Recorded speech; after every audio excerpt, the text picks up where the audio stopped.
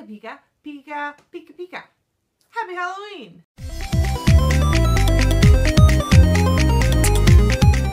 Here are some of my Halloween favorites. Candy, Halloween candy. A lot of people think that you should just get like the cheapest candy to pass out to trick-or-treaters. Uh, but I say get the chocolate so that you can eat the leftovers and they'll be delicious. Another thing I love about Halloween is Halloween movies. Now, you can go a lot of directions with Halloween movies. You can go super, super scary and horror and slasher flicks, things like that. Those are okay. Um, I prefer more fun scary. Uh, I think witch movies might be among my favorites, like Practical Magic and The Craft. There's always Hocus Pocus and Casper, Edward Scissorhands, Beetlejuice.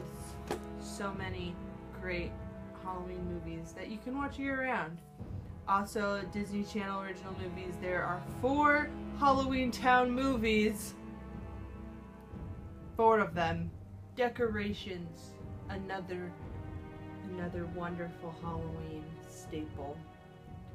Um, this candle is supposed to be a bleeding candle. It has red wax on the center. Um,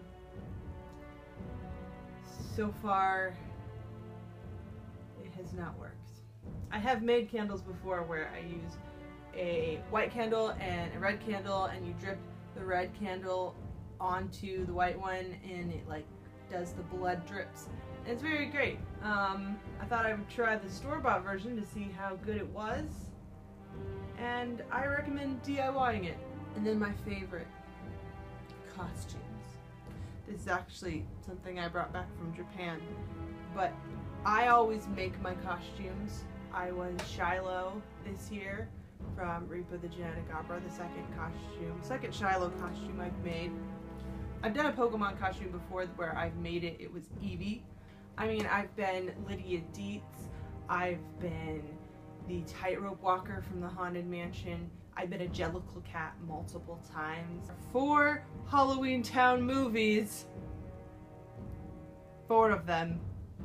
And the fourth didn't even have the main characters. They recast one and then the grandmother just wasn't in it. Happy Halloween.